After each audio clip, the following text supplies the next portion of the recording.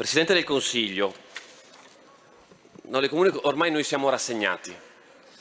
Le dico siamo rassegnati perché pensare di entrare nel merito delle discussioni con lei ci sembra ormai un affare impossibile. Le comunico che con qualche mimica facciale da sitcom e con qualche promessa che viene rimandata sempre di anno in anno, non si risolvono i problemi del Paese e lei, e lei non riacquisisce credibilità agli occhi dei cittadini di questo stesso Paese. Presidente del Consiglio, voi perfino, siete riusciti perfino a mentire con un abile gioco, questo sì lo ammetto, sul reale tasso di disoccupazione del Paese. Avendo liberalizzato di fatto i voucher, voi avete fatto scendere, e questi sono i dati forniti dal, Ministro del Lavoro Paoletti, di più di due punti percentuali il tasso di disoccupazione. Voi considerate occupati chi guadagna 28 euro netti al mese. In realtà noi stiamo parlando di una disoccupazione del Paese che supera il 13,5%. E in tutto questo contesto lei non combatte con l'Europa per avere maggiore flessibilità per dare risposte al dramma della disoccupazione del Paese, ma lei chiede all'Europa flessibilità per accogliere un maggior numero di clandestini. Lei sta indebitando il Paese e i cittadini di questo Paese per accogliere più clandestini. Lei dovrebbe chiedere all'Europa di andare a, cont a, controllare realmente i confini e a procedere ai respingimenti, ai rimpatri. Evidentemente il business miliardario che continua a produrre l'affare dell'immigrazione clandestina nel nostro Paese le fa continuare a portare avanti una politica che dice porte aperte, maggiori risorse per COP e associazioni. Presidente del Consiglio, il problema non è investire sulla percezione dell'Europa, ma il problema è che lei ci racconti quali investimenti sono stati fatti da JP Morgan in MPS, qual è il rapporto di Carrai con JP Morgan, che finanziamenti hanno dato JP Morgan e società controllate da JP Morgan alle fondazioni nel nostro Paese. Questo sarebbe interessante scoprire nel Paese.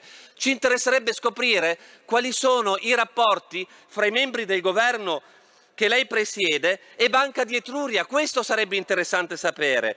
Ci interesserebbe sapere come è possibile che il, che il Ministro eh, Padoan venga ieri in Commissione Bilancio certificando un buco di 7 miliardi e 250 milioni che non ci sa dire come coprirà. Questo ci interesserebbe sapere, Presidente del Consiglio. Lei nella nota di variazione del DEF ha fatto un falso in bilancio se, se, fosse una normale azienda avrebbe qualche tribunale che verrebbe ad indagare perché c'è un falso in bilancio che peserà sul futuro dei nostri figli, sulle future generazioni, quello di cui lei sempre si, si riempie la bocca, Presidente del Consiglio. Ma dicevo, noi siamo demoralizzati perché questo, il merito di queste questioni per lei affrontarle è impossibile. Probabilmente nella replica lei mi incomincerà a rispondere con offese, faccette buffe o quant'altro. Non ci interessa, Presidente del Consiglio. Beh, ecco, ne, ne, incomincia la prima dimostrazione. E ne incomincia la prima dimostrazione. Ci interessa poco. Le dico però che le varie promesse che lei ha fatto, guardi io qua un elenco imbarazzante che eh, mi sembra quasi inutile ripetere perché sarei noioso e racconterei quello che gli italiani già sanno.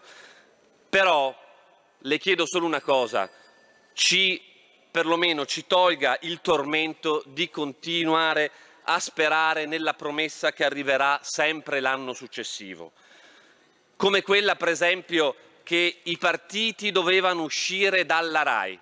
Su quello però ha rispettato la promessa. Peccato che in quell'affermazione si era dimenticato di dire i partiti tranne il partito renziano. Lei è riuscito a fare ciò che nemmeno la Prima Repubblica era riuscita a fare, monopolizzare la TV di Stato pagata con i soldi dei contribuenti e con le tasse dei contribuenti per farla semplicemente suo megafono e addirittura quei pochi giornalisti liberi che ancora dico, hanno il coraggio di dirle di no, lei fa la fatua dicendo con loro non dovete parlare. Io sono convinto che gli italiani eh, saranno molto più intelligenti di quanto lei creda.